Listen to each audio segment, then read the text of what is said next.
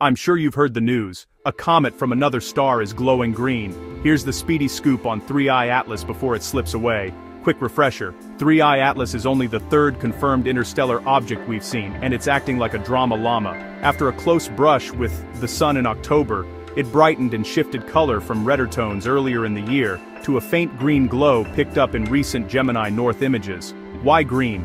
That tint usually means carbon-based gases like CN and C2 fluorescing under sunlight, basically, escaping gas lighting up.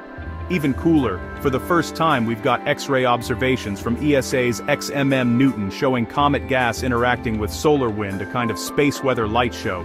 Multiple missions chipped in, Hubble helped size it up, JWST collected infrared data, Psyche managed distant snapshots, Lucy managed distant snapshots, Perseverance on Mars paused for a photo.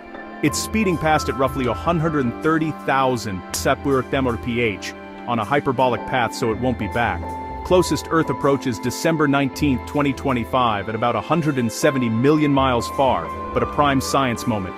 If you want to try spotting it yourself, look in the constellation Leo before dawn, use a 6 8-inch telescope under dark skies. No danger, just one amazing interstellar guest putting on a green show. Want a quick guide to viewing it with your telescope?